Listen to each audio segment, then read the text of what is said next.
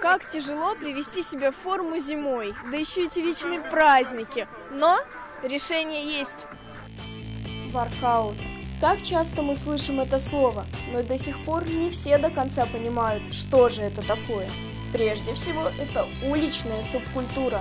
Воркаутеры занимаются на турниках и брусьях. Какие основные элементы воркаута? Я бы сказал, что в воркауте нет элементов. То, что вы сейчас э, говорите об элементах, они взяты из спортивной гимнастики и адаптированы к улице. Вот. В самом элементов нет, но есть базовые упражнения, которые э, мы выполняем. Это подтягивание, отжимания, отжимания от брусьев, приседания и выходы силой. А их комбинации, а, вариации позволяют разнообразить весь тот тренировочный процесс, который составляет уникальность воркаута. И никаких сложных техник, замысловатых упражнений, непонятных методик. Это первый плюс. Второй заключается в ощущении свободы и возможности экспериментировать. А третий и главный – доступность и свежий воздух. А, воркаут мне интересен тем, что это бесплатно, доступно. А, можно в любой момент выйти, позаниматься на улицу. Опять же, товарищи хорошие. Результативно. Можно достичь всех результатов, которые могли бы быть в зале или в другом ви виде фитнеса, например, да, мы себя позиционируем как фитнес, поэтому цели здоровья, а не соревновательность. Но и без минусов никуда. Люди, которые тяжело переносят капризы погоды, вряд ли смогут в мороз или жару продуктивно работать. А если есть стеснение заниматься на людях, то будет совсем непросто. Что тебе не нравится в воркауте? Холод не нравится зимой. Очень холодно заниматься. Два. Одному заниматься скучно Три. и сложно, а вот дух Четыре. коллектива мотивирует. Пять. Вниз, упор. Топим снег. На улице встретить единомышленников не так сложно, как кажется.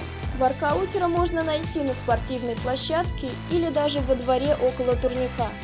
Но в Егорьевске есть целое сообщество, которое так и называется – воркаут. И любой желающий может присоединиться к коллективным занятиям. Я предпочитаю коллективный тренинг. Так ты больше мотивируешься. Если э, твой друг, допустим, сильнее тебя, ты быстрее э, набираешь оборот, то есть э, коллективно лучше намного.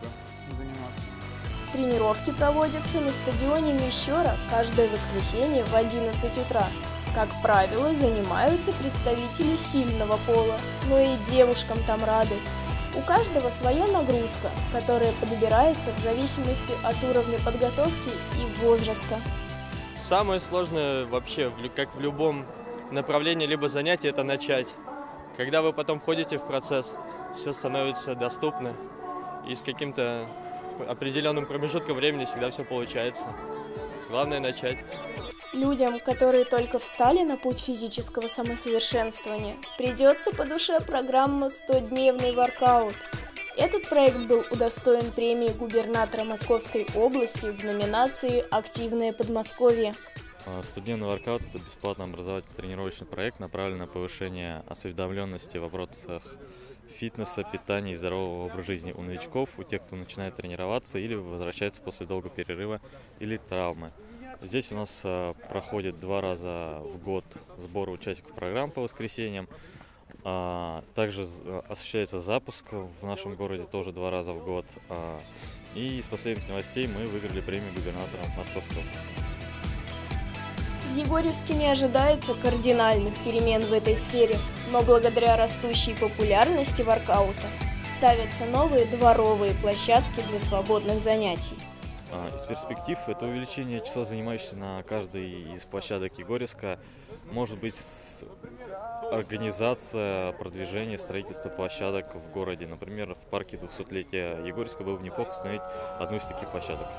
А так как мода на здоровье никогда не проходит, и воркаут вряд ли уйдет на второй план, он поможет не только заложить базу для дальнейших занятий, но и стать лучше.